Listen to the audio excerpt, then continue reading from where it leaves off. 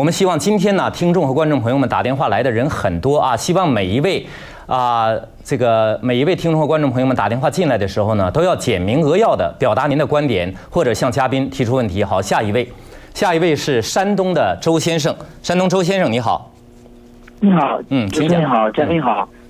我今天要说的就是中国的茉莉花革命。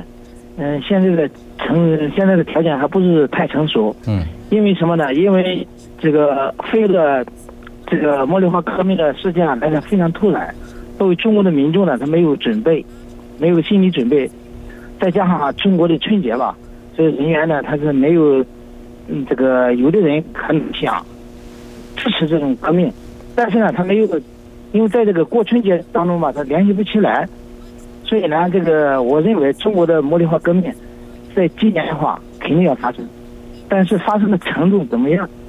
嗯，那不一定，嗯，比八九年那六四事件肯定达不到那个水平，但是今年肯定还要闹，还要还要还要动起来，因为中国的现在现状啊，现在底层的老百姓，他现在已经被压迫的受不了，嗯特别是农民，农民的收入非常非常的低，他没有保障，什么保障没有，对吧？再加上失业的工人，还有这个小手工业者，还有这些低层的人员，所以呢，我觉得中国今年只要有个好的引导，今年的茉莉花，中国的茉莉花革命肯定会发生。好的，谢谢您啊谢谢山东的周先生。刚才我们一连接了几位听众和朋友、观众朋友们打来电话，他们分别表自了、表达了他们各自不同的观点和意见，您综合回应一下吧。我觉得呃这些听众呢都问出了一些很重要的问题也提出了一些很重要的观点。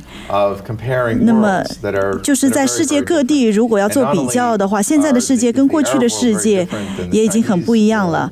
阿拉伯世界跟中国世界很不一样在阿拉伯世界内部每个国家的情况也不一样。在埃及它整个社会呢是比较统一的百分之九十的人是穆斯林 uh, copped uh, but basically a very corrupt dictatorship. 但是呢，他的独裁者呢却是非常的腐败，早就应该下台了 where。people simply did not have any jobs. 人们呢也没有工作，corrupt, everyone on top. 因为这个高层的人就是领导者是非常的腐败的。Similar in other countries. In Bahrain, 那么在同样的这这在别的国家也有这样的一些情况但是在巴林情况就不一样了大部分的这个人口的大部分其实是什叶派，但其实逊尼派却是掌权的。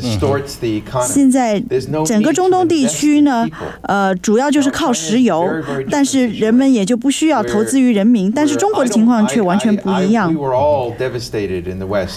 在西方呢，一八一九八九年的时候，当呃天安门事件发生的时候，我们在西方的人也是感到非常的悲痛。我也同意刚才一位听众所说的，呃，我们当时却有呃确实有人指责中国的这个呃政府的做法，但是确实没有国际法庭发出通缉令等等。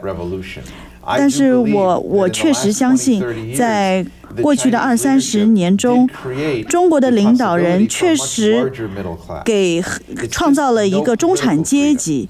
那当时呢，呃，当然他还是没有这个政治上的自由，但是他却提供了一些经济上的发展。那么这个情况跟阿拉伯世界也是完全不一样的。在阿拉伯世界中，大部分的年轻人他们都没有什么经济上的前景，甚至连面包都买不起。很多这个教育上面非常成功的人，他还是会饿肚子。那么在中国情况就不一样，中国现在还有很多的工人，他也没有参加这些抗议活动。但是历史的一个自然的一个结果呢，就是经济更为自由，或者说经济更发展的情况下，一定就会产生更多的这种政治上的要求。那么这就是我们要关注的中国的情况，它是一种非常温和的演进，或者说是改进。中国的领导人是不是有这样的明智的这种眼光，能够看到这一点？他们要能够倾听人们的这种愿望，能够能更自由地表达自己的观点。他们如果能够，呃，人们如果能够呃放弃这样呃，就说不再害怕的话，那就可以改善这情况。也门也有这样的情况，也门的领导人如果不听呃这个人民的一些。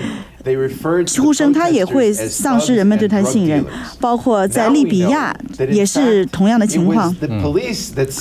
我们知道很多利比亚的一些统治者说那里有这些贩毒的分子，但其实我们现在知道，其实是利比亚的一些警察把这些毒贩放到街上。所以我们现在都了解了真相。但是中国的情况呢，跟阿拉伯世界是不一样的。虽然中国的经济有所发展。它可能不会有一些像阿拉伯世界发生这种突然的革命运动。好的，那么人们也不应该期望这一点，他们应该是以不同的方式来争取他们的民主和自由。好的，现在呢，我们有一位网民啊，他通过电子邮件啊发表他自己的看法。他说：“他说我对中国的茉莉花行动。”表示悲观，埃及的变革难以在中国复制，因为埃及变革的关键是军队，而不是互联网。中国不可能有埃及一样的军队，埃及军队能每年从美国得到十五亿美元的军援，中国则是零，并且直接由中央军委领导。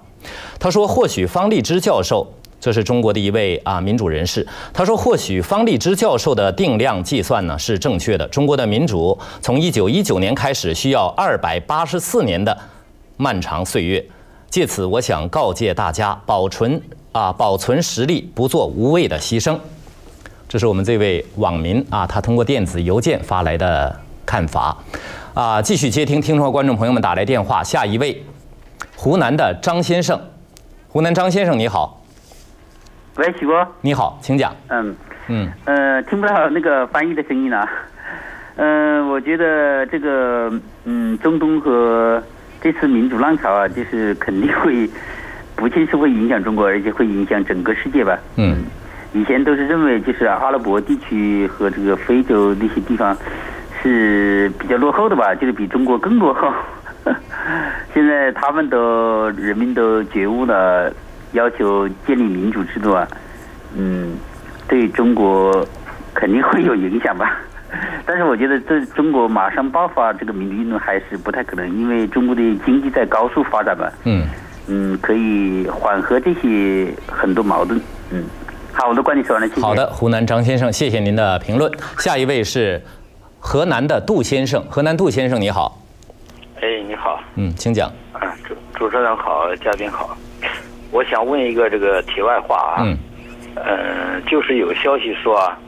十月份，美国之音要停止对华广播。我想问一下，这是不是真的？嗯如果是真的话，我会感到很遗憾，嗯非常非常的希望，而且失望，非常非常的失望。谢谢啊。好的，谢谢这位听众和观众朋友们。因为今天我们讨论的话题呢，不是美国之音啊能否关闭的这样一个话题。我在这里呢，可以简单的啊回应你一下这个问题，就是说呢啊，我们现在就是美国有关政有关当局呢正在制定这样一个计划，决定呢啊这个决定要关闭美国之音中文部的这个电视和。啊，电视和啊短波收音机这个广播，然后把全部。